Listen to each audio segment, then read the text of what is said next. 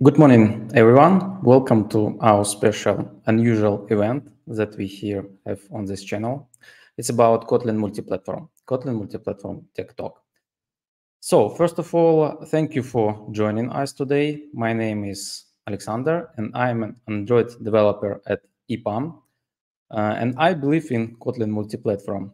Uh, you know, uh, in the past, I tried different multi-platform approach like Flutter, like React Native, but I believe that uh, Kotlin multi-platform is the future.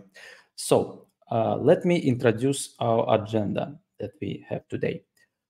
Uh, we decided to divide our technical talk by two parts. The first part will be uh, presented by IceRock company. It's about code reusing possibilities with Kotlin multi-platform.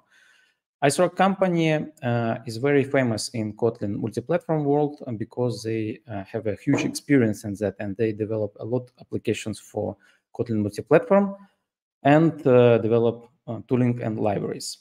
And uh, the second talk will be dedicated to JetBrains. we have a Q&A session with them. I'm not sure that I really need to introduce JetBrains, but you know, this is a very famous company that developed for us IntelliJ IDEA, Android Studio, and some other beautiful IDEs, and of course, the uh, best language in the world, Kotlin. So uh, before we start, uh, before we start, uh, let me uh, share uh, three interesting key facts about and recent updates about Kotlin. You know, Kotlin still isn't beta. even my grandmother remember in her childhood that it was in beta but uh, it's going to uh, release very soon till the end of the year if i'm not mistaken. And according to words that says jetbrains on their website it's almost stable and they work uh, uh on stability. Uh, the second fact uh, recently has been released compose multi-platform. You know jetpack compose it's um, a very hot topic today in android world. Yeah and compose uh, multi-platform allows us to share not only business logic, uh, it allows us to share UI with different platforms, desktop, iOS in alpha, and some experiments on web. it will be very interesting to use this technology in the future. So, and the uh, third uh, um, update that I recently found that uh, officially it's not recommended to uh, use acronym uh, KMM, Kotlin Multi-Platform Mobile, uh, because you know the scope for this technology is a little bit small. That's why I recommended to say only Kotlin multi-platform or, or maybe uh, KMP. So I hope that it raises uh, some of your questions. Maybe you're interested, and uh, we would like to hearing from you your questions. Please submit your questions in uh, our chat on YouTube or in the link that provided in the description. Uh, with help of this link, we can share uh, your questions to uh, show it on our, our, screen and vote for them. And guys also will see and answer, answer on it. So yeah, please don't hesitate to ask everything related to Kotlin multi-platform or, or just Kotlin. Uh, and uh, Uh, let me let me introduce uh, to the stream uh, our first speaker that we have today. It's uh, Alexey Lobynya uh, from IceRock. He is Android lead developer at IceRock, and Alexander Pogrebnyak, this CEO of IceRock company. IceRock is, uh, like I said, uh, like I said, uh, they're very big enthusiast in Kotlin multi-platform world. Uh, they have some, they develop education materials, they develop libraries and uh, courses related to Kotlin multi-platform. And uh, before we start, maybe guys, um, question for you: How long have you been working with Kotlin multi-platform? Yeah, thank you. Uh, hello, everyone. I'm Alex uh, from IceRock, uh, IceRock, like Alexander said. And uh, actually, we are big uh, Kotlin multi-platform believers, and uh, we have been developing with Kotlin multi-platform already six years from 2017, when when our CTO went a vacation and discover discovered a new technology and he tried to uh, make a simple example and it was successful. And uh, after this uh, he uh, expand knowledge through android and ios department in our company. And our adventure with kotlin platform was started. Yes and, yeah sounds really amazing. I hope I believe that uh, in the near future you will write a big book of memories uh, about yeah. Kotlin, how it was in infancy and how it's uh, mature right now. So, uh, yeah, guys, uh, the stage is yours uh, right now. Please uh, share your talks and ideas. Welcome. Okay. anybody see presentation? Yes, no. Yes, yes. Uh, no, if you don't see it, no. please let me let me attach on the stream. Okay. Um, hello everyone. Again, my name is Alexey Lobynya, and I am Android developer from IceRock. Today, I would like to tell you about the tasks uh, that can be accomplished using the Kotlin multi-platform mobile in mobile applications. We will explore three, these tasks through real-life project examples and understand where to start when implementing KMM in your own project. But first, let's recap what KMM is all about. KMM is technology that allows you to use the same code across different platforms. Kotlin code can be compiled for iOS, Android, Windows, Linux, Mac OS, and more. With shared code, applications work in the same way because the code doesn't differ across platforms. And since the codebase is reduced by half, there are fewer bugs in the code. It's important to note that KMM is an SDK, not a framework.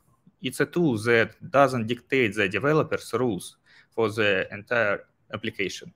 In other words, developers have the freedom to choose which part of the project they want to use KMM for, while using the native libraries for other parts of design. Now let's explore the results of the official statistics on how developers are using KMM in their projects. Uh, the majority of developers are using KMM to share data models some of them sharing network and data serializations. Nearly two-thirds of them already migrated algorithm and various computations to shared code. At least a quarter of all multi-platform users are sharing view models, controllers, presenters, and state management. You can scan the QR code to explore the detailed results. Now let's examine a few examples of how certain tasks can be solved using KMM in mobile development. Let's start with network requests. Since they don't differ between platforms, we can create a repository class in the shared code and define our requests there. To achieve this, uh, we can use Ktor client a multi-platform library by JetBrains for network communication. Uh, we can also utilize kotlinx serialization, another JetBrains library, for parsing server responses. by incorporating these libraries, we can connect the shared repository class to both iOS and Android application, and everything will work seamlessly. On iOS, suspend function can be called as a regular function with a callback, and errors will be propagated correctly. Uh, okay, we've covered authentication. Now let's discuss what happens after successful authentication in the application.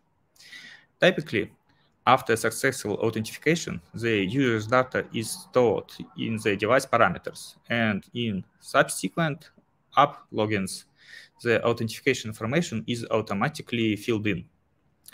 This task can also be handled in the shared code. and we can utilize the multi-platform settings library to assist us. To make the process more convenient, let's create a wrapper class in the shared code called key-value storage to ensure that only relevant data is stored. Inside this class, uh, we can define the necessary properties that in, in interact directly with the setters. Uh, we pass the setting object from each platform, meaning that we directly access system-specific storage, such as shared preference on Android and user defaults on iOS, real system storage mechanisms. We can achieve this by using expect and actual functions. After implementing authentication, we decide to jump into Figma to see the design and understand the app's overall behavior. We observe the following screen, which is four states, loading, error, empty, and data. This is where state management comes into play, which remains the same for both Android and iOS. We have already moved the, all the requests and data models to the shared code. The screen state is based on this data, which means we can handle the state management in the shared code as well. How do we accomplish this? Based on received data, we will construct the state, store it in the variable, and the platform will subscribe to changes in this variable to render the appropriate UI.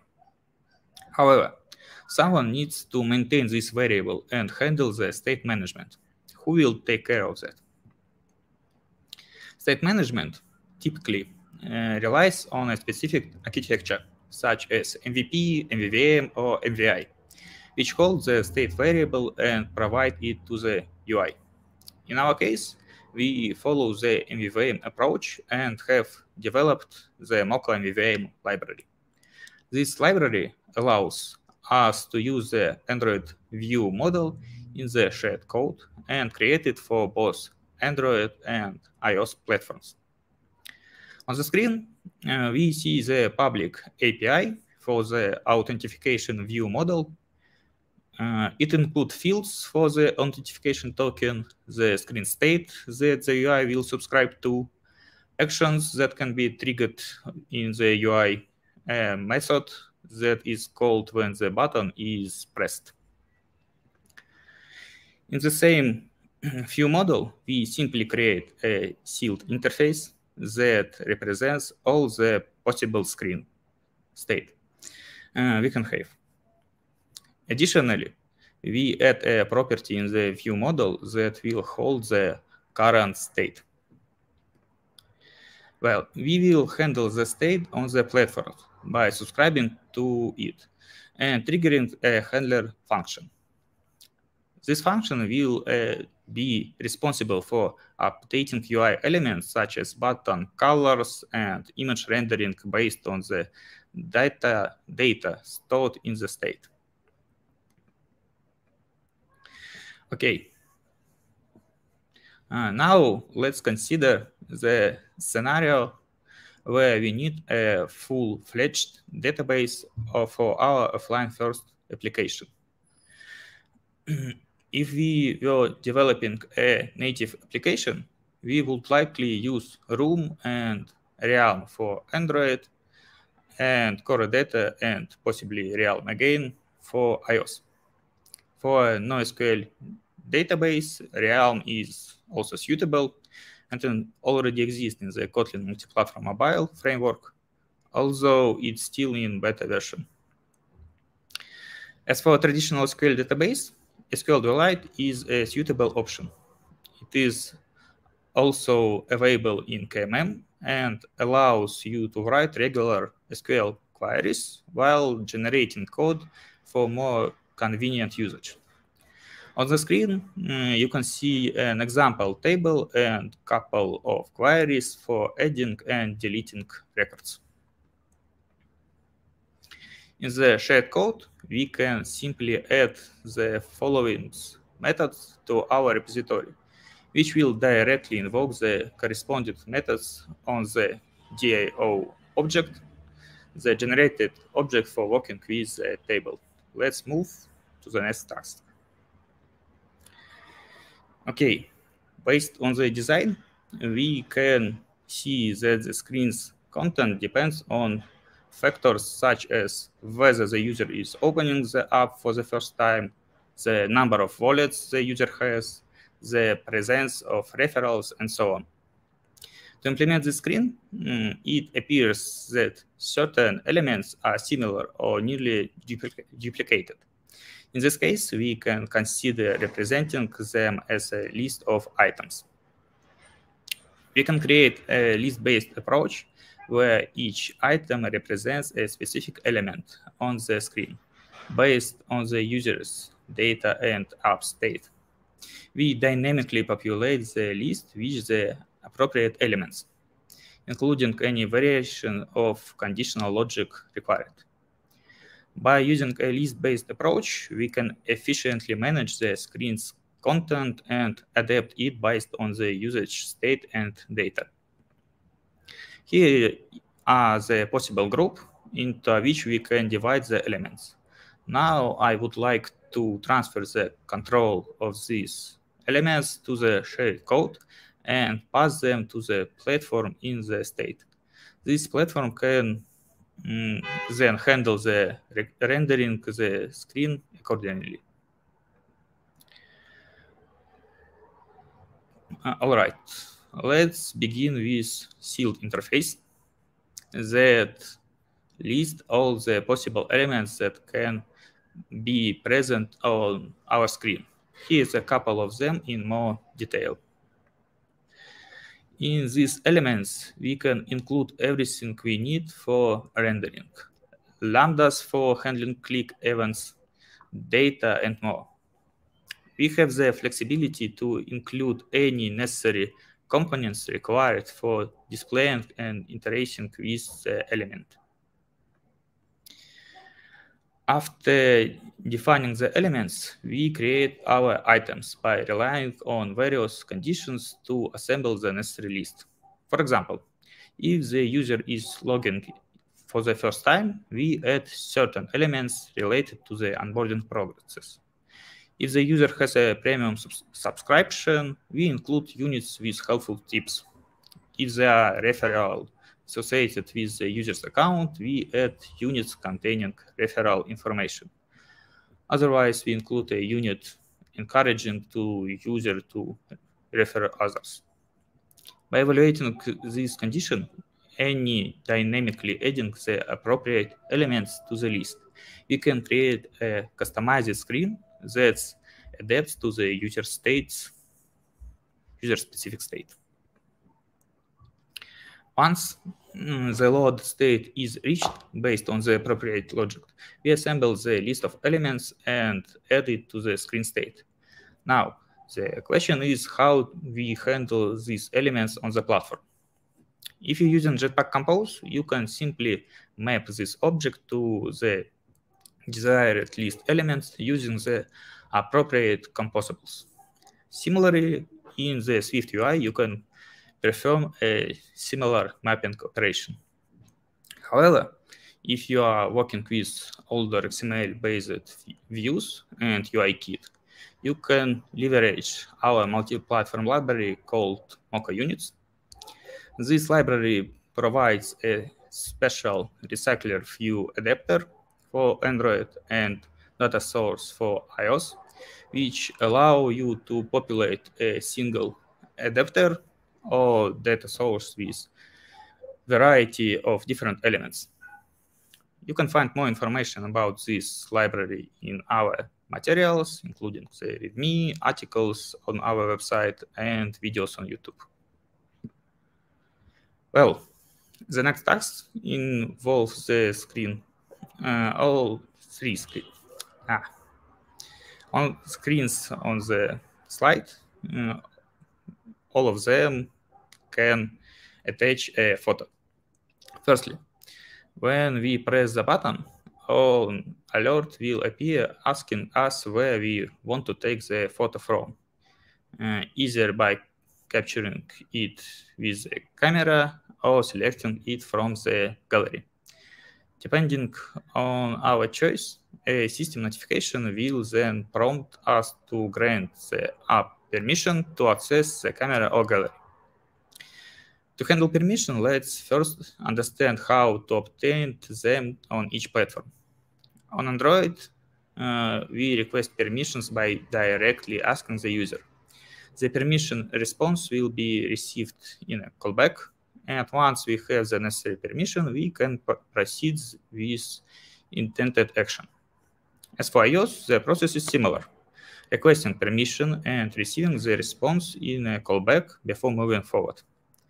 Since the behavior of identical, it makes sense to extract this functionality into the shared code. We have developed the Moko permission library to accomplish this here's an example of requesting permission in the shared code using oops, our library. By calling a single method, if the user denies permission, the method will throw one or two errors, denied or denied always. If no exception are thrown, it means we have permission and can proceed with the intended action. Now that we have the necessary permission, we can move forward with capturing the photo. For this purpose, we can utilize another multi-platform library called Moko Media. Working with the Moko Media library is similar to using Moko permission. We call a single method specifying the source from which we want to obtain the photo, and the library takes care of the rest of the process. In general, uh, with Kotlin multi-platform mobile, it is possible to share even the UI code. We accomplished this in 2019 when we extract the UI into the native shared code and create the Moko widgets library, which allowed us to render UI elements from the shared code instead of relying on canvas drawing.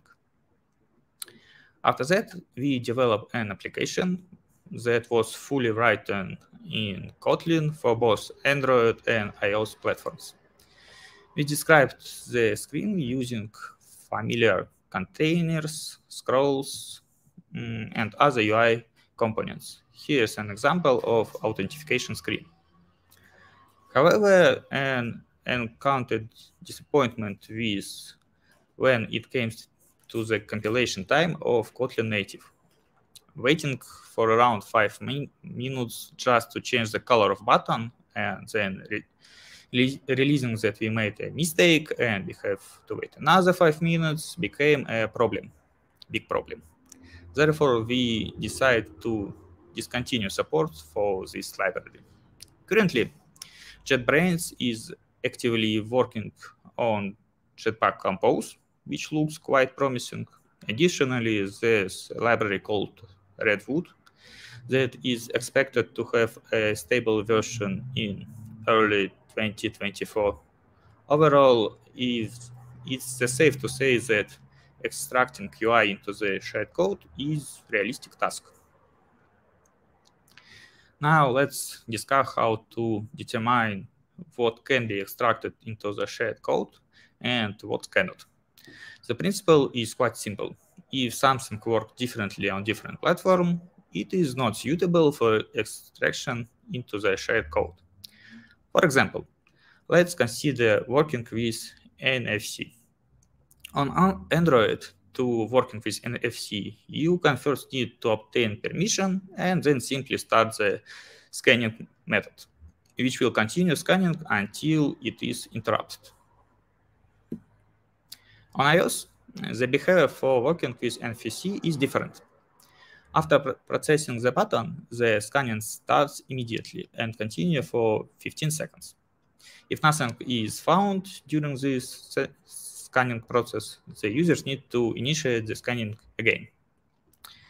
Based on this behavior, in, in the shared code, we can define a method called on NFC scanned, for example, that will be called when the platform successfully scans something and passes the data to the shared code. Another example of tasks that you don't need share is sending video files with guaranteed delivery. The goal here to ensure that files from a specific folder in the device storage are reliably uploaded to the server. To achieve this, we need a background upload scheduler that automatically uploads any newly added files. In case of upload errors, the scheduler will retry the upload attempts. Additionally, we need to handle resumable uploads to continue from the previous point in case of any interruptions. The end, it was discussed to implement this functionality separately on each platform due to the following reason. First, file management. Uh, there was no built-in file management capability in the shared code, so implementing it would have required creating a custom solution, which was no straightforward given as a available option. Mm, currently, library like OK exists for file operation. Uh, the second one is background execution. On Android, background execution is handled through background service, while on iOS, it's managed through background tasks. The behavior difference between these two mechanisms requires a platform-specific implementation. In this scenario, the shared code can handle determining which file need to be uploaded based on the platform's file information. When it comes to initiating the actual upload process, the shared code can communicate with the platform-specific implementation, triggering them to start the necessary operation using the respective mechanisms.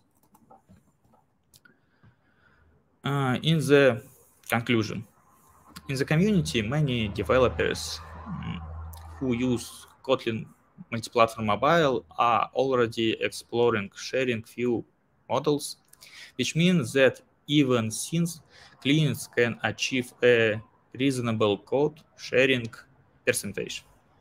Secondly, there is already significant amount of material available for trying out KMM, which is great those interested in adapting the technology. It provides resources and guidance to help developers get started and leverage the benefits of code sharing. However, not everything in the platform-specific code should be necessarily pulled into the shared code. When the behavior of platforms differs significantly, it becomes more challenging and complex to extract such functionality into the shared code. It's important to carefully evaluate the difference between platforms and consider whether the benefits of code sharing outweigh the potential drawbacks and complexities. Uh, that's all. Here are my contacts and two Telegram channels dedicated to multi-platform development, where you will definitely receive answer if you have any question. Thank you all. Uh, thank you, Alexey, for the great talk. It was really interesting and uh, you know so, so many libraries um, uh, you as a company developed. Uh, so uh, let me introduce what we're going uh, to do right now. We have a small Q&A with IceRock, and later we proceed together with IceRock and JetBrains and answer on all questions. And now let's let's maybe choose some questions for you and and try to answer them. So the first question that we have in the, the chat is about how can we use Java security package in KMP, such as asymmetric encryption? Mm, it's very interesting because it's one of problems that I work just now. Uh, if you want use in Java security package, it's a native library. You need create uh, use um, actual functions for iOS and Android. Mm, in fact, you use some native libraries for iOS. You use some native library in Android. In and in shared code, you just trigger trigger them. Okay. Uh, thank you. Uh, maybe a question uh, from uh, my side to uh, Alexander. Um, you know, uh, the name of libraries reminds me many other libraries named like Mocha, Mockito, something like mockups. Alexander, why did, did you choose the name for the, such libraries? names them like Moko? Yeah, uh, it's very interesting question because uh, our team uh, had uh, thinking about this uh, for a long time, and uh, even they starting started a pool Uh, with some number of uh, possible names, and uh, Moko was a winner. it just named mobile Kotlin, and actually in our uh, company, we started develop Boko uh, backend on Kotlin, and uh, this is a bunch of libraries that helps to developers to use Kotlin on the backend side as the title. Uh, it's just uh, just simple mobile Kotlin. Yeah, I like the name Boca and Moko. Yeah. it's very, very like funny. two brothers, you know. Yeah. Mocha, Mocha. Okay. Okay, let's proceed with another question that I have on YouTube uh, from Hardik Mehta. Question If I have to avoid creating separate native solutions, should I opt for KMP or Flutter is fine? Hmm. I choose KMP because in Flutter is a framework. If you use Flutter, you must use Flutter only. If you use KMP, you can share some code to the KMP, KMM, and mm, some code for UI, UI, for example, can be native. You can use Jetpack Compose if you want. You can use XML-based UI. On iOS, you can use UIKit or Swift UI. And the UI will be um, what you same experience that user already have. It's not will be something on Canvas Draw. It will be native UI. Yeah, and uh, another part of of the answers is uh, it depends uh, what uh, do you want. Uh, if you want to use uh, these frameworks for developing uh, from a scratch, it will be the one option. if you already has some product, some uh, project uh, that using, uh, for example, Swift and Kotlin Uh, on the uh, platforms, uh, it will be impossible to use Flutter, as I remember. Maybe very hard to use Flutter uh, in this uh, case. But uh, you use Kotlin multi-platform very is very easy to starting integrate Kotlin multi-platform features uh, libraries and starting to use and developing sharing library uh, sharing library sharing model uh, between ios and android. It depends from different reasons. Actually uh, Flutter is much easy for uh, learning, for understanding uh, for new developers, and that's why maybe Flutter was so famous framework. Kotlin multi-platform, from my point of view, it, it's slightly harder to understand, to to learn, and uh, maybe to starting using. But uh, in the projects, then you have to uh, has identically technically uh, um, uh, actions from the projects, uh, it will be great for you to use Kotlin multi-platform because it's technically uh, identical uh, activity for the projects.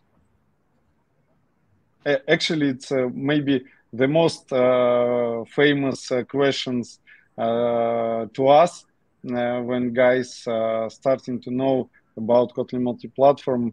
It's I think it's second questions. Oh, how you can compare Flutter and Kotlin multi-platform?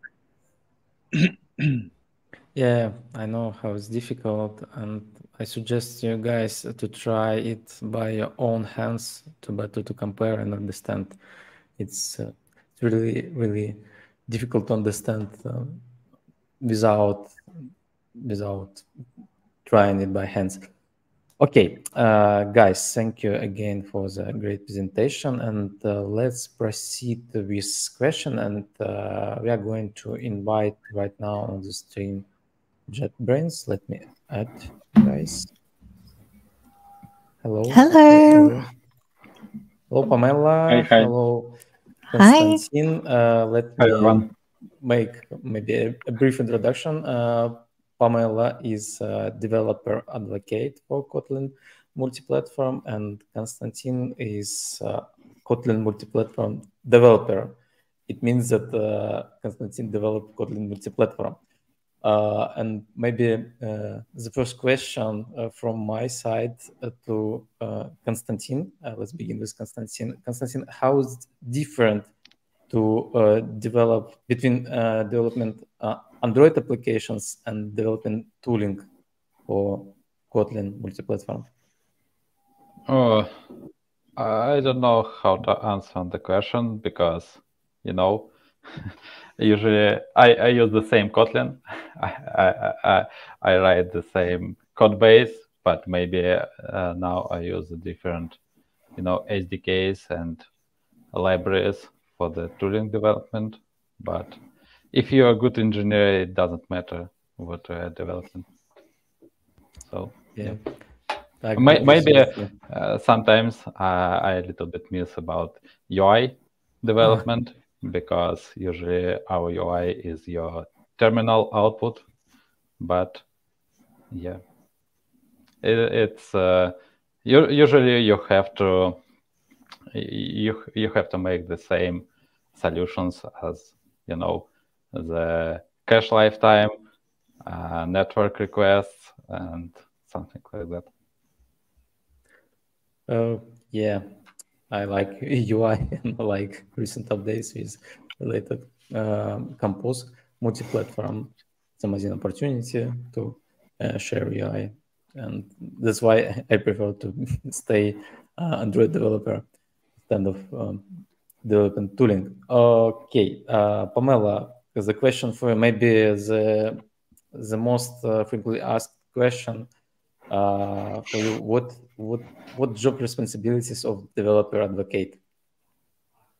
Well, clearly, it's answering questions from awesome community members like yourselves. It's also um, making web, doing webinars, doing podcasts, writing blogs, speaking at conferences, and so on. But how it helps to develop uh, Kotlin multi-platform? Oh, I see what you're saying.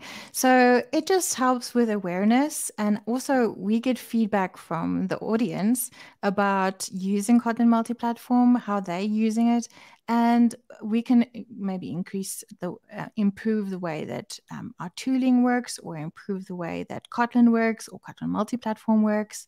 And so we just, um, we, it's sort of a two way street. We sort of stand in between the development team and the uh, developer audience. Okay, thank you, uh, guys. And uh, let's maybe begin with questions that we have right now on YouTube. I'll pop up them, and then we will proceed uh, with questions on Slido. So uh, here we have the question from Vladislav Leskiv. Let me share it. If uh, we will go with KMM plus Compose multi-platform, for what parts we still need write platform-dependent code? Uh, um, do you want to answer that, question? Yeah, I, I can start. Uh, you will proceed. Uh, so I think you have to you have to write your platform dependent code for the for parts of your application which requires platform dependent code. For example, as we mentioned before, it can be security stuff. It can be some device uh, specific, uh, not drivers, how to say, uh, device specific, maybe, for example, some uh, GPS internal stuff. I don't know. Uh, so for that Face part of your yeah. yeah. for that part of your application, you you have to use platform specific code.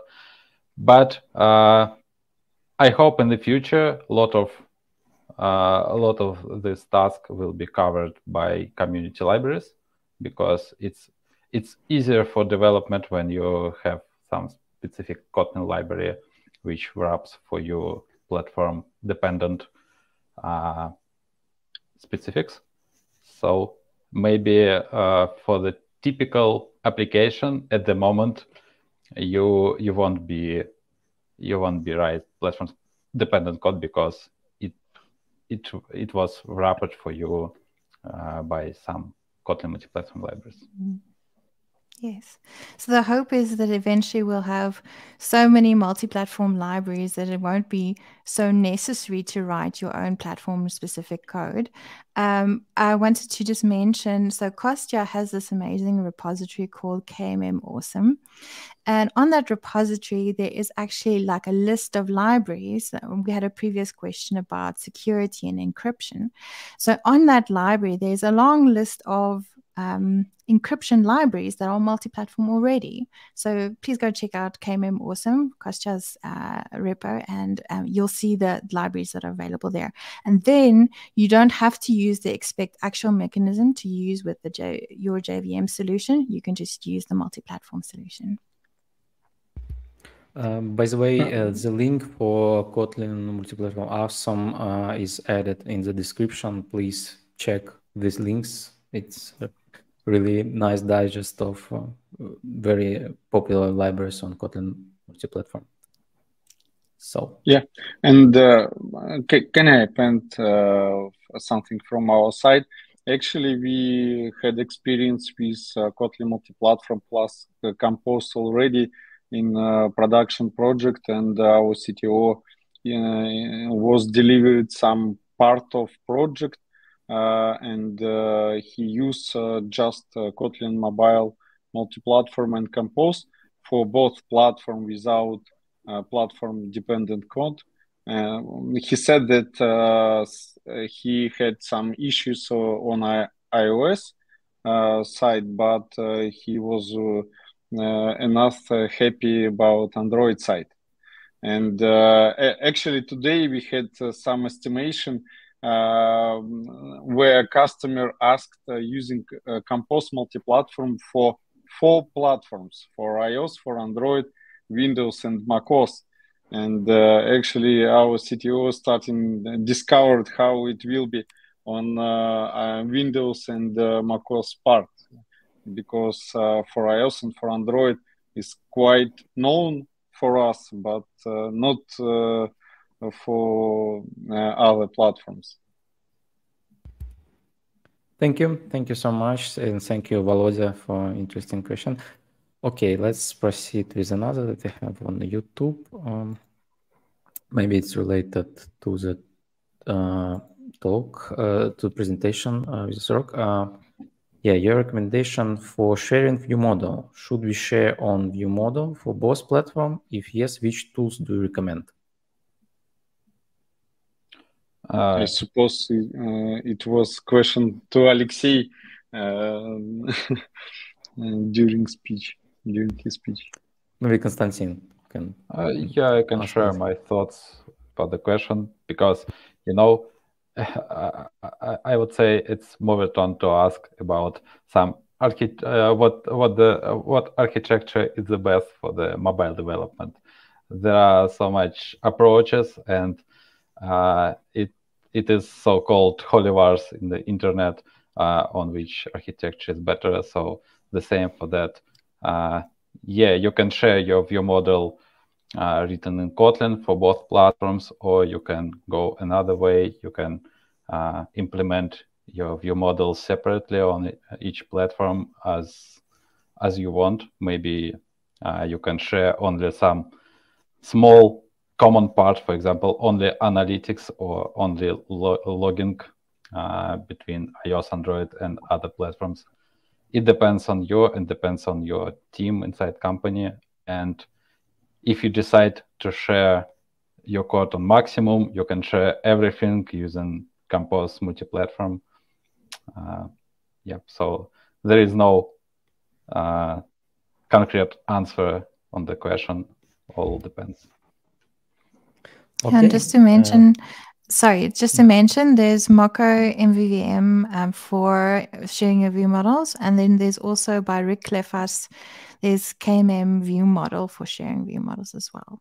Uh, you can also mm. roll your own if you really wanted to. Um, Konstantin explained it to me earlier. It's actually pretty simple. You can just have a look at what the folks at TouchLab did in their KaMPKit example, and you it should give you a good idea of what what to do there. Okay, good. Uh, so we have another question. For example, on a code base with a ton lines of code, how do you assess and find out where to begin with KMM migration? How would the playbook look like on a high level? Um, I can explain how 9gag actually went went ahead and started with their my with their um, changes to KM, KMP. Um, and what they did was they started out by just so after their project set up and everything was um, sort of you know this the project was set up, they actually started by sharing constants, and then after that sharing uh, utilities, and then after that they only started sharing business logic and things that you can share mm-hmm. with business logic are things like the data model, the networking. Um, you can share your analytics, which would sort of you know um, you, which is a common scenario for, for people but you can sort of make blocks for yourself of things i i sometimes think like I want to take the most irritating, boring stuff and start sharing that first so that it's like super consistent across all across the board. And then like the iOS developers or whoever is consuming these libraries will be super excited to like just use this library so that nobody else is like uh, nobody else has to be bored with writing the, the boring analytics code. Yeah, I agree with uh, Pamela, and uh, I would say that uh, in our experience, uh, sometimes uh, we asked uh, about how we can start and what first we should do, and actually, we we recommended to set up the development and starting from from small small step, just set up environment and. for example, for analytics, it's a good example and uh, for, it can be maybe file maybe some static files or something like this uh, and expand uh, using KMM step by step when you mm-hmm. prove it when you release it when you uh, fix maybe some issues and for the team it will be a great and very slightly uh, diving uh, slightly uncomfortable diving especially for iOS team, uh, diving to another technical stack. Because for Android, nothing is special. It's uh, the same environment, same technology, same programming language, and so on. But for iOS, it's completely new. And sometimes iOS developers um, are not likely uh, to using something uh, else from Apple ecosystem. Yeah, actually, we have uh, questions related to iOS and iOS developers. We'll talk later a bit about it. Uh, so let's proceed with the next question. And uh, could you please share useful links for KMM because not enough presented in the internet. So uh, check the description uh, uh, under this YouTube video. Kotlin Awesome, yeah, consists all of links with libraries, with useful materials, but maybe guys there are another source of truth with libraries approach for kotlin multiplatform you would like to share. Kotlinlang.com yeah. Yeah and, uh, Kotlin Lang? Uh, I would like to mention that on a official site, Kotlin Lang, we we have a, there is a page with the success stories of big companies who migrated on the Kotlin multi-platform, and each story it is full article about the migration, about the success story, and maybe not very success. It depends on the cases, but each story contains uh, links to other sources, so you can explore it. Mm-hmm. And of course, Kotlin Conf, uh, the bunch of videos starting from 2018. Uh, I think there are a lot of uh, speeches uh, about Kotlin multi-platform and uh, with different experience, different uh, paths uh, of discovering and using.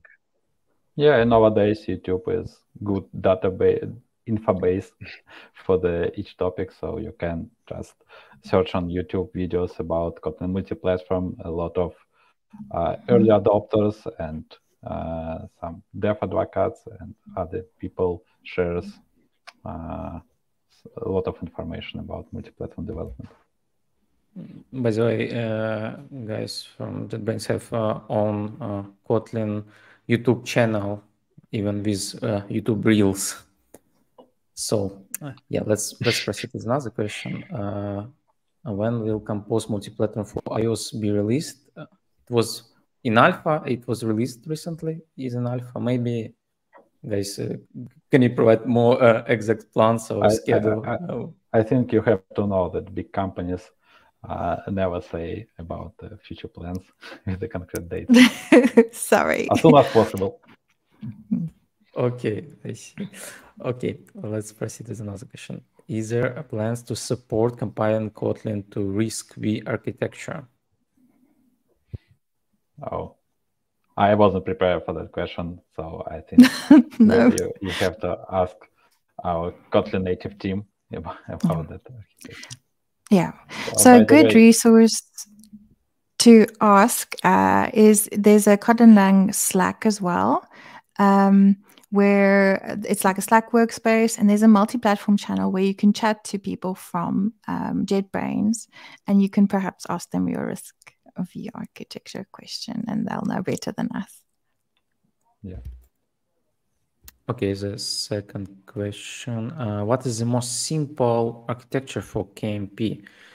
If I want to use coroutines flows with KTOR, no data persistent, no clean architecture, ideally I want to UDF with no view models. Hmm. Uh, I see the problem in the question because I, I don't see the problem between clean architecture and UDF. and, uh, again, uh, the, the, question about the best architecture, uh, which we cannot answer properly. So you can use, uh, I would say that Kotlin multi-platform, it is not some specific framework, some specific way to write your code. You can write uh, your code as you want, uh, as as as you did it before, but it will be compiled uh, not only for the JVM target. So I, I I would say that continue as you like, but with the multi-platform. Thank you for your advice, Konstantin. So the question is similar that I asked on Slido. Uh, do you plan to make something similar to Flutter Pub Dev for KMP? Flutter Pub uh, is package for manager for Flutter containing reusable libraries, package created by community. Um, as far as I know, we don't have any plans, but I'll definitely take this forward to our team and suggest it to them because I had a look and it looks really impressive, but not as far as I know. Yeah, and uh, I can add little little bit that uh, Flutter Pub Dev uh, is a, for the Dart ecosystem, which which is based on source publishing libraries, but Kotlin is based on the binary publishing to Maven repositories, which is uh, the main repository is Maven Central.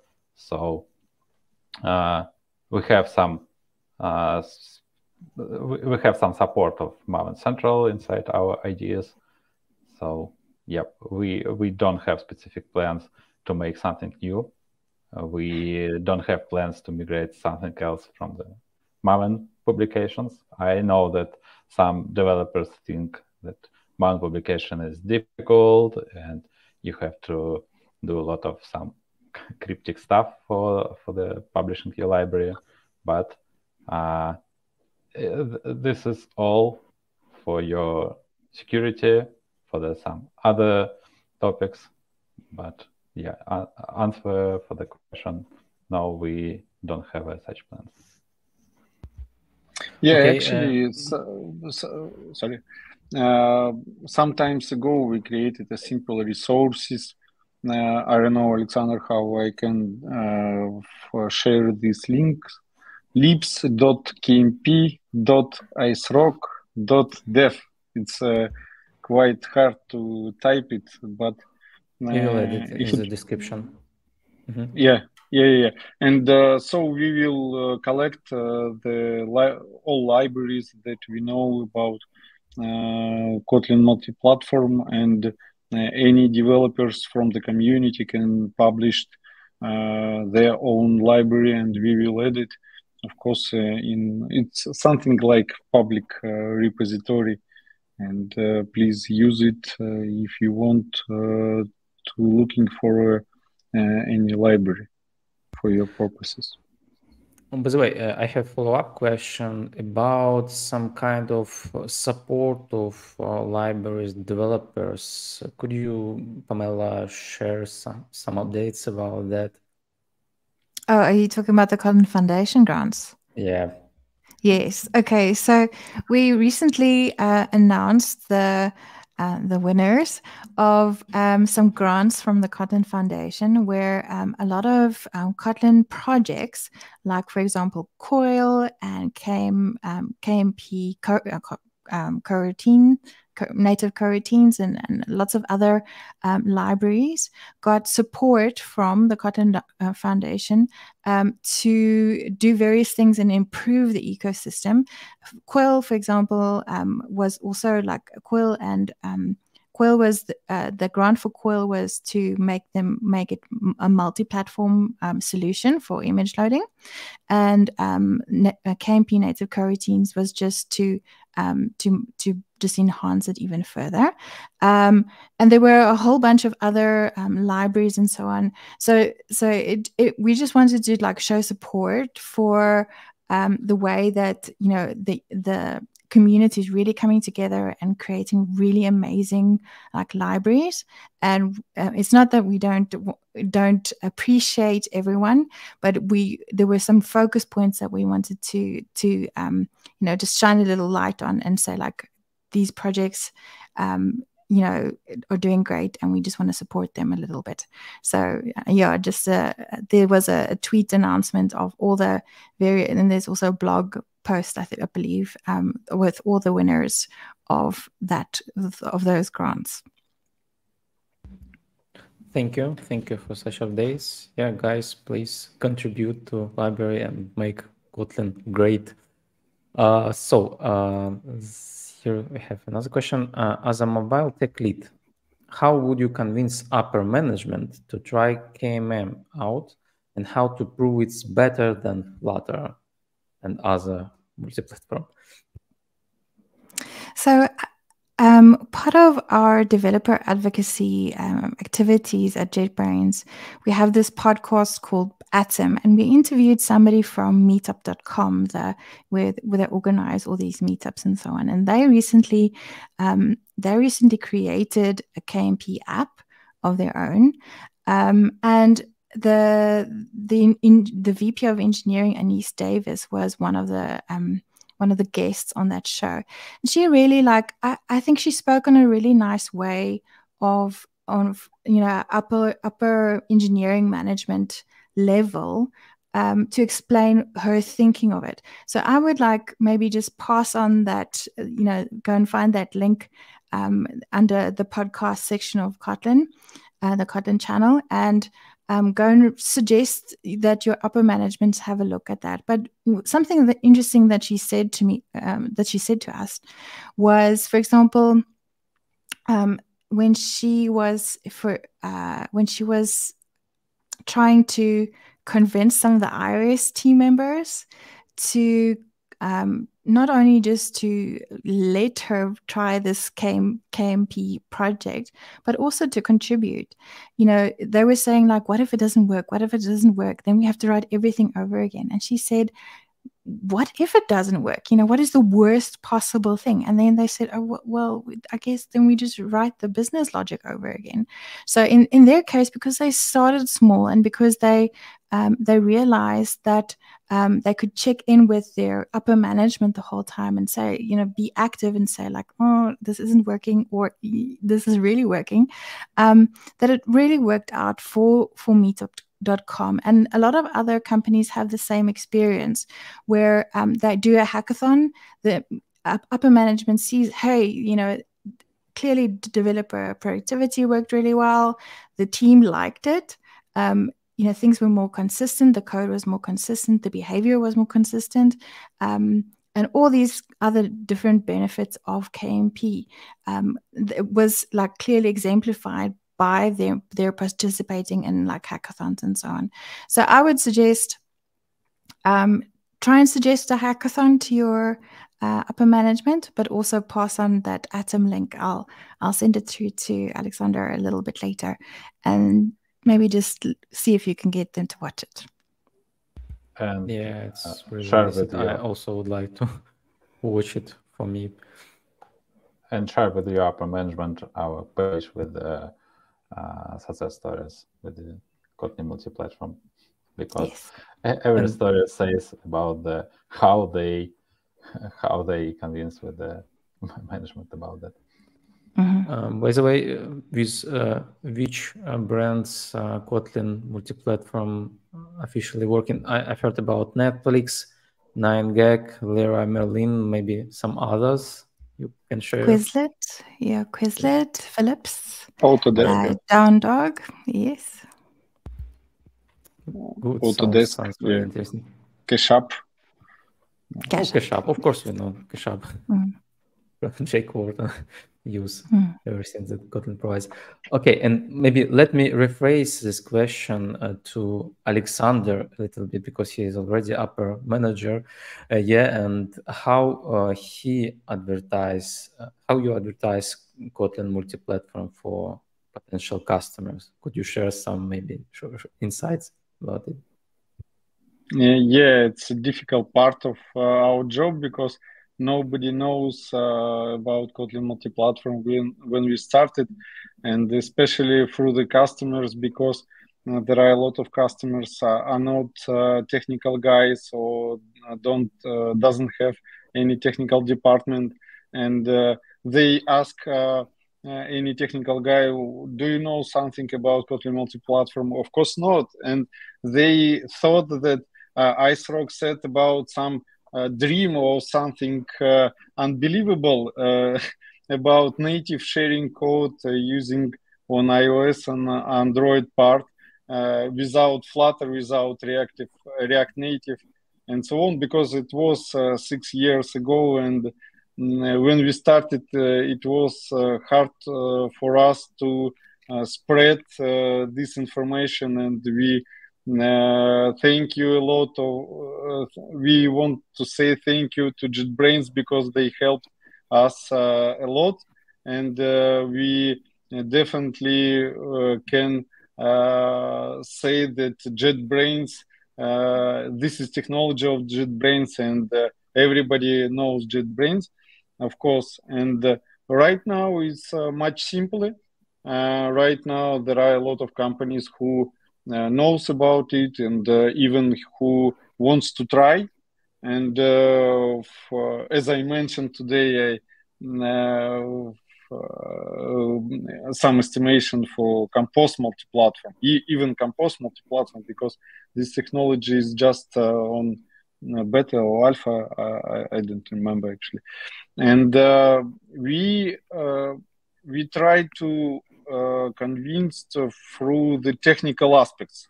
Uh, we show the details. We uh, show the some marketing uh, promotion. We uh, discovered our case studies, and we try to publish all our case studies on our site.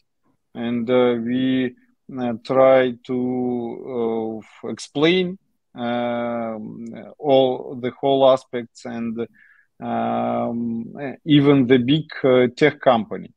Uh, we several years ago we have uh, we had experience with a big technical company, and actually we started uh, to uh, integrate Kotlin multi-platform, but they have a bunch. They had a bunch of questions, and uh, our technical guys solved it and created the roadmap how you can expand, expand, how you can go through these changes and how you can solve it. And of course, we supported this uh, this company and we help it because uh, we uh, also want to big cases uh, by our hands or by another uh, for, uh, outsource agency to show this show that this technology works and uh, this technology have uh, great potential from our opinion.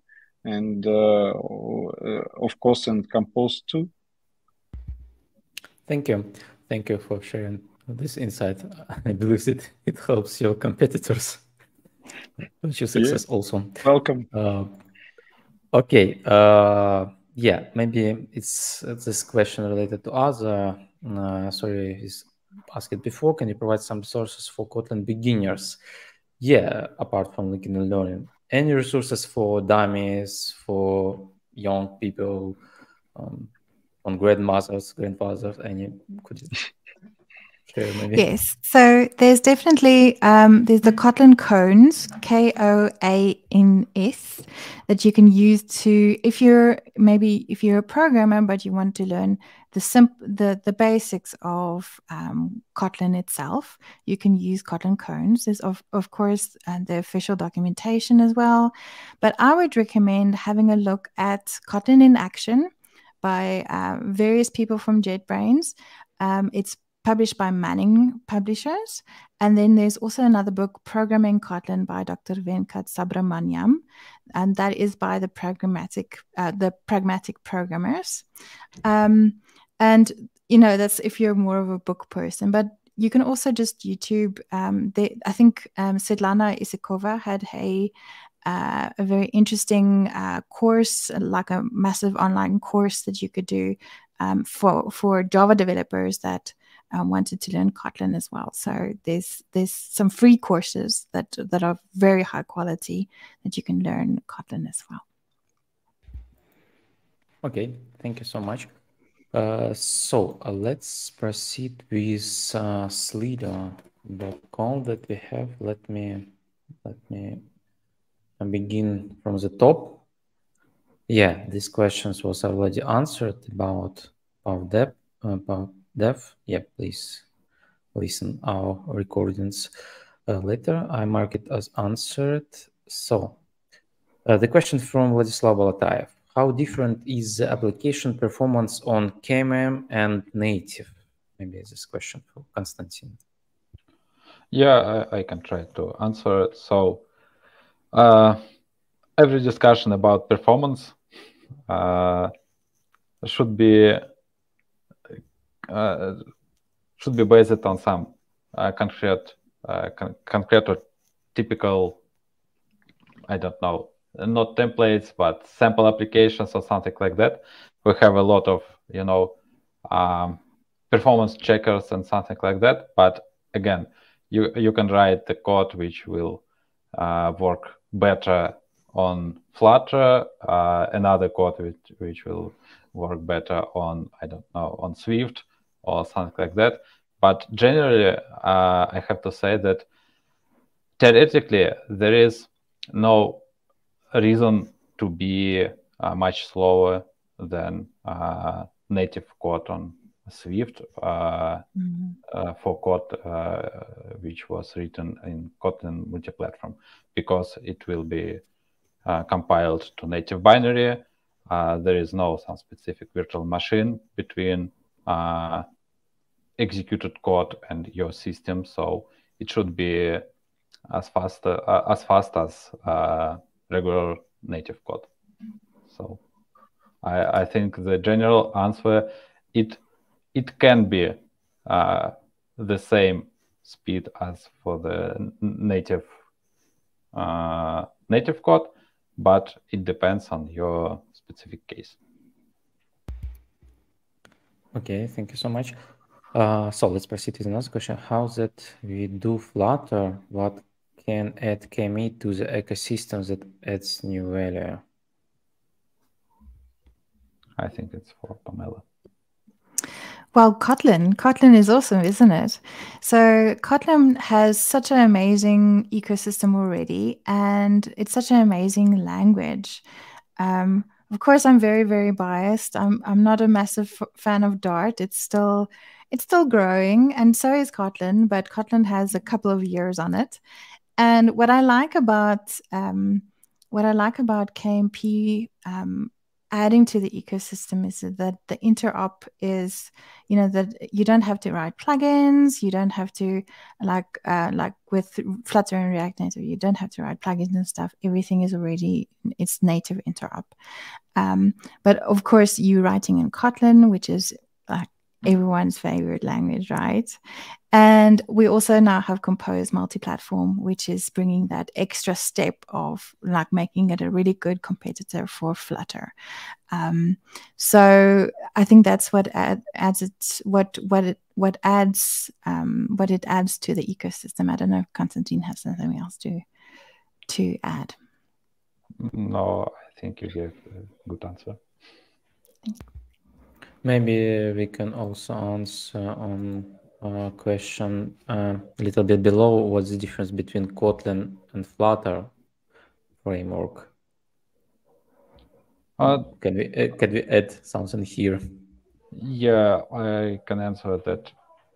Mainly, uh, Kotlin framework contains less internals. Uh, like you know, as I know, I am not the profi in the Flutter frameworks. Yeah, I have to mention it. But Flutter frameworks framework contains inside the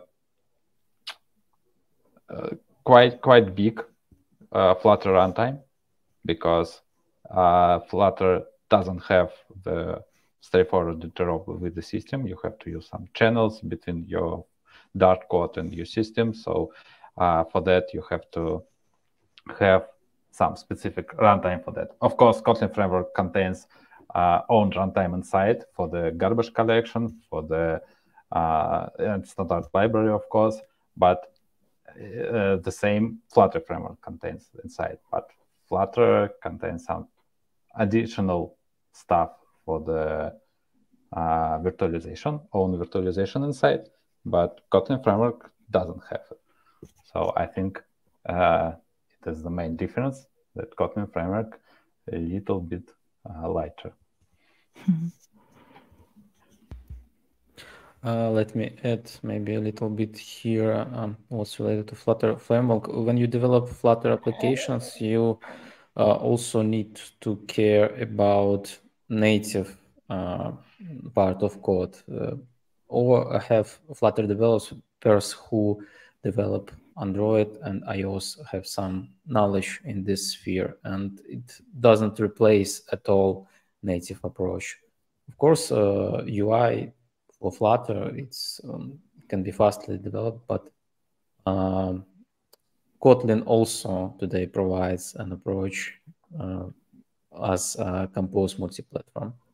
Yeah, by the if way, I'm not mistaken, it's uh, it also has uh, some it's based on Skia, if I'm not mistaken. Yeah, that's Flutter also. Yeah, by the way, it's a really good point that Flutter framework, uh, as you remember, Flutter is a UI framework for multi-platform development, but Kotlin multi-platform is a language, and you you don't have to use uh, Compose multi-platform because Kotlin multi-platform plus Compose multi-platform uh, equals to Flutter, but uh, Kotlin multi-platform without Compose, without shared UI, it's just uh, a language and tooling for the multi-platform development. And so typical Kotlin framework with, uh, without shared UI uh, code, it's a, uh, much lighter than uh, typical Flutter framework. Yeah. Yes, the rendering engine is Skia, but now they're changing to Impeller. Uh, yeah, it was maybe released in uh, Flutter 3.0, if I'm not mistaken. Okay, good. Thank you. Thank you, Bro, for your comments.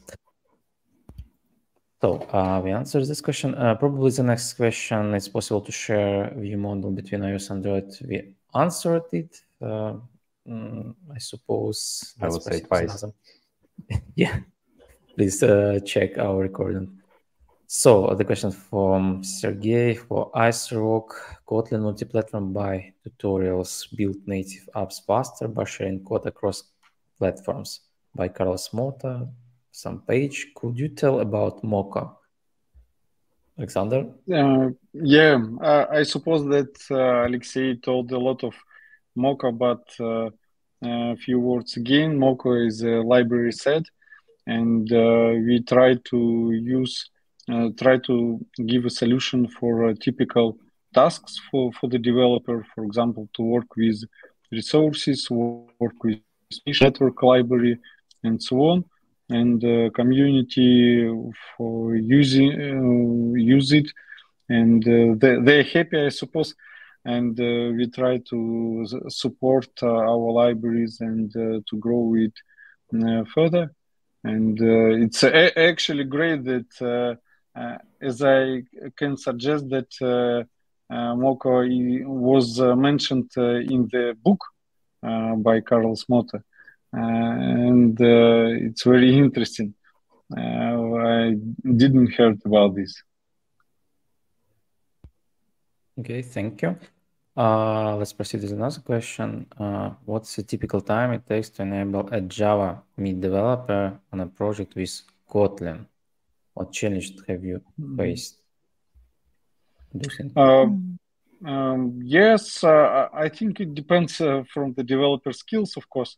But uh, from my point of view, it's uh, from several days uh, till several weeks, maybe two, maybe three weeks, because um, as I mentioned before, the dev, dev environment the same, programming language the same. It's just Um, how you uh, use uh, your project code and uh, how you can coordinate uh, your efforts and uh, how you can coordinate with different uh, developers and other platform because you have to keep in mind iOS part. if iOS team using the common sharing uh, library. But uh, I think it can be days or maybe two weeks, for example. From, from my point of view, maybe Kostya will correct me. Mm, you know, I started at Kotlin more than six or seven years ago, so I don't remember.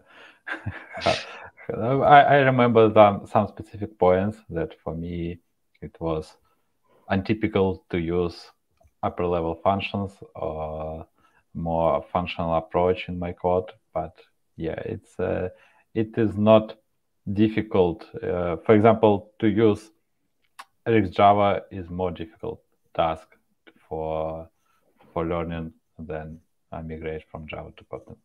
Yes. I wanted to mention that, for example, um, writing writing Kotlin code is different from writing idiomatic Kotlin code. So sometimes what happens is somebody comes over from a Java world and wants to write Java Kotlin, and that doesn't work. So you want to know.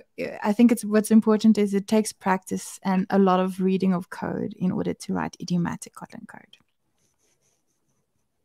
and that takes time. Thank you. Thank you so much, guys. Uh, let's proceed to the next question. How can we connect KMM with native models, it's easy or do we need extra steps? I guess I can try to give an answer. Uh, if I understand it correct, uh, by native models, the outer means the platform libraries like Foundation. I, I think so. I have to say that for the old full Apple ecosystem, uh, Foundation libraries, Kotlin provides own wrappers uh, out of the box. So when you declare your iOS targets in your build script, full the Apple uh, ecosystem libraries will be available for you uh, in your iOS uh, source sets. So uh, you don't have to uh, make some extra steps for that. But if you want to use something extra, for example, some native dependencies, which was published, for example, like Pods, you can use a special plugin for that, for Pod support, and uh, the plugin will be uh, connect and wrap a native library for you for Kotlin declarations to, uh, for the future using in your project. Okay. Um, the next question: How different is application performance on KMM and native? Probably we also answered that, isn't it? We've already yeah, answered it. I think it was answered. Uh, but uh, I would like to add a little bit for the topic because you know there is popular opinion, for example, that code uh, written in native languages like Rust, I don't know, or C uh, should be faster than code written, for example, in Java. But good good developer knows that it is not true uh, because, for example, Java Virtual Machine is highly optimized, and uh, typical developer usually writes not the optimized code, and the typical code can be faster uh, on a JVM than on a uh, native binary. So again, uh, all the all the uh, discussion about performance and speed of your code it depends on the application code and context. And depends how will you implement it. Okay, uh, I have maybe similar question uh, again about native, but uh, it's a question about the difference between Kotlin for Android and Kotlin native. About the Could difference between um, Kotlin for Android and Kotlin native. You know, um, uh, I have to say that the language is the same. It's just Kotlin, so and the same stdlib for the Kotlin for Android and for Kotlin native. But uh, for example, on the Kotlin or on the on the Android side, you can use Android specific libraries, Android specific uh, API, and uh, you can call it from the Kotlin for Android. But on the Kotlin native side, you can use some native libraries. For example, I don't know, uh, libcurl, for example, for the network request on the Kotlin native for Linux side. Uh, it's a different compiler. It's a different uh, environment to run your code because on Android it's a kind of uh, Java virtual machine, but for the Kotlin native it's uh, just binary for your operating system. So uh, answer depends on the uh, on the question what what what the difference uh, outer means. Okay, uh, thank you. Uh, for JetBrains, uh, what books can you recommend to read about Kotlin and what about Kotlin multi-platform? So I've already mentioned a couple of books, but for Kotlin multi-platform, there is a book from the Kodeco folks. Um, it's the one that we mentioned earlier. It's Kotlin multi-platform by tutorials. Um, and it's an excellent book. I've read it myself. There's also another book by Robert Nagy, uh, A G Y. Um, he it's also a good book, but I actually prefer the Kodeco book a little bit more. Um, I, I thought that was really well well structured, really like well put um, put. You know, it's it's like it basically covers all the sections of things that you would be interested in, like dependency injection, like Swift interop, all these things that that's really important for knowing. I think it's I think it was a brilliant book. And I have to mention that for the modern world, the books usually are outdated faster than technology grows. So uh, my my approach here is to to to to read the official documentation and to well. mm-hmm. yeah to search some up, up, I don't know fresh articles or updated videos or something like mm-hmm. that. Mm-hmm. I also prefer watching YouTube videos. Philipp Lackner, Kirill Rozov, Gladkov, thank you. Okay, uh, uh, what will be the interesting uh, features expected from Kotlin multi-platform? Pamela? Well, we've got the, we've got the K2 compiler coming out. That's not really compiler multi-platform, but you know, definitely the K2 compiler is my top favorite thing coming out. Yeah, and I I think uh, regarding some interesting features for Kotlin multi-platform, uh, it's a difficult question for me.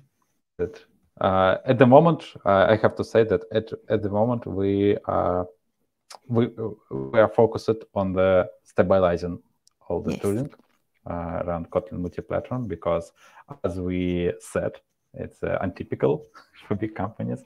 But we we said it publicly uh, to public uh, that we will be released to the stable uh, in in this year. So uh, interesting features for Kotlin multi-platform. I, I don't know what we can uh, say here, but uh, again, we have a lot of interesting features uh, internally, which we uh, don't want to share too early.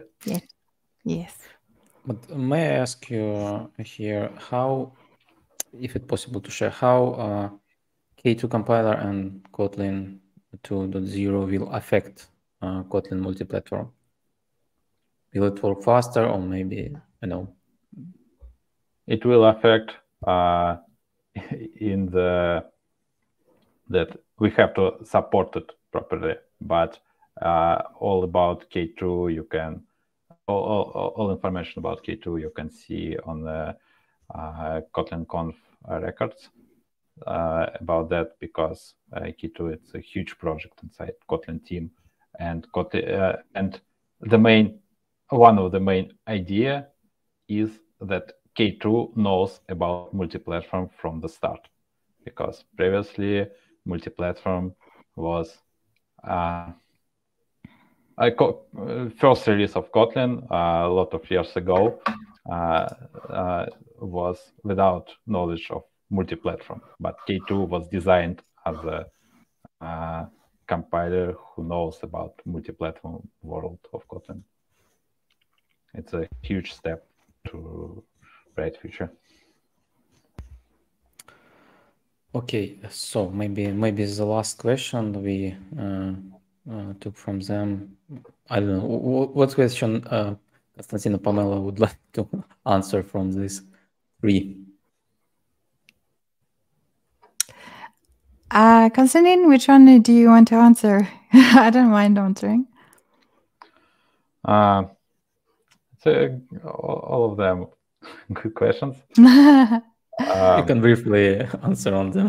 Yeah, briefly, how to debug KMM on iOS. Uh, I have to Mhm. mention that there is special plugin for Android Studio for the uh, debug uh, for the support of debugging Kotlin native uh, on your iOS devices in in Android Studio, so you can use it.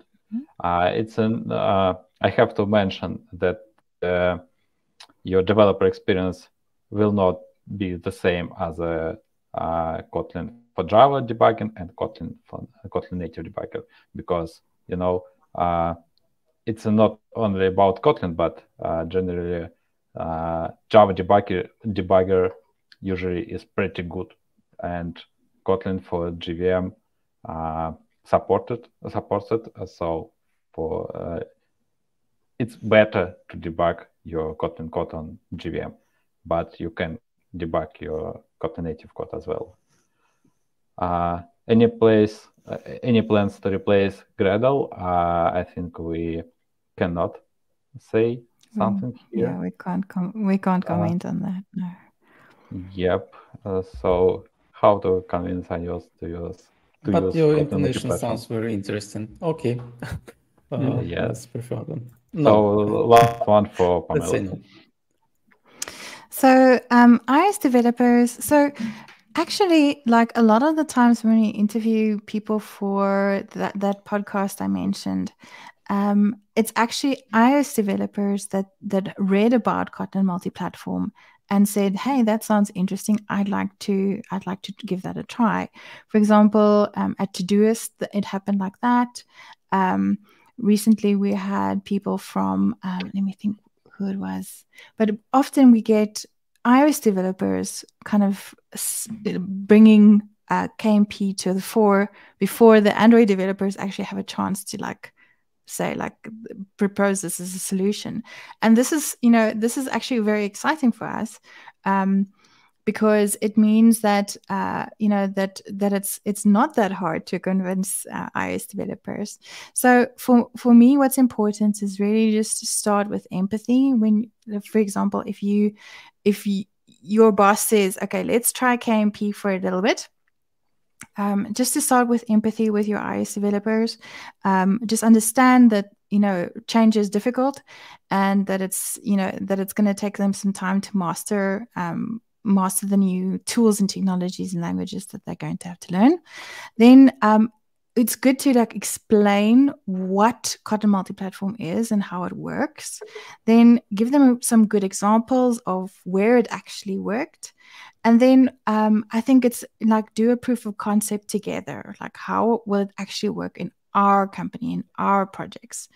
And then after that, you know, just keep on answering questions, keep on being proactive about sharing knowledge and so on. So I think that's the way that you convince like any team to, to adopt any technology, I guess. But for iOS, Swift is not that different from Kotlin. And I'm personally, I mean, I think that's a big selling point. You know, it's it's not that different, and they they share a lot of things in common, a lot of ideas in common. So uh, it's it's much easier to go from um, a, a language like from a language like Swift to Kotlin than other languages, for example. So, and you know, you also because just because you are an iOS developer doesn't mean that you have to write Kotlin code. It just means that you have to consume some derivative of Kotlin code. Um, so it depends on your team as well, whether you want to contribute to the shared code or whether you just want to consume it. Yeah. Thank you. Thank you so much. Alexander, maybe you would like to add. Yeah, yeah. If, uh, I just uh, would like uh, to say that uh, Pamela is right. Uh, you have to discover all pros and cons uh, of using this technology. You have to see and have to show the best examples. That's why we one of our first public repository was a template project uh, which use uh, some features for iOS, some features for Android, uh, to developer from the both plot platforms to see how they they can do the usual things in in a new environment. And uh, you have to be near and you have to keep uh, give answers uh, for the questions and to give support and uh, to discover all advantages of this technology. I agree.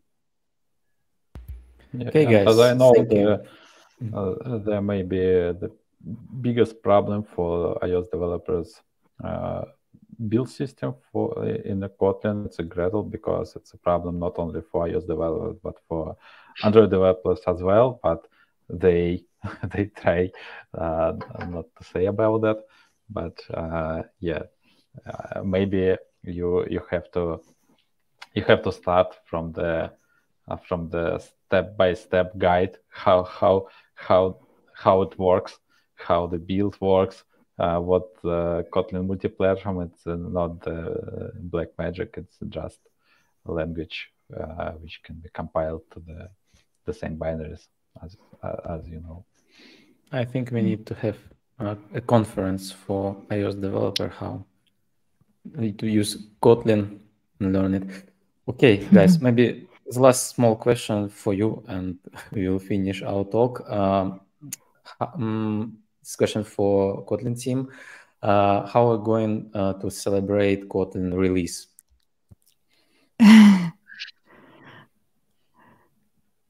With cake. I don't when, know. When I Um, imagine it, uh, I imagine about Kotlin rave crossing roads, some parrot, in the middle of Amsterdam or Berlin. I don't know. Usually don't know, the but- developers, yeah, for the Yeah. developers, big stable release means that after the release, you, you will work harder.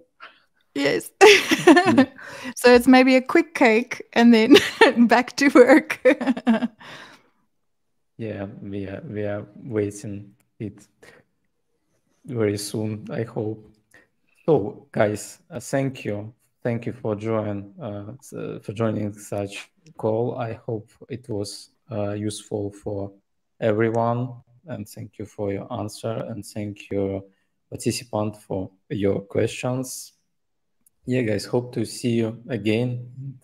Have fun with Kotlin. Yeah. Thank you so Thank much. you very much. Thank you. Thank you. Bye. Bye bye. Bye. Bye bye.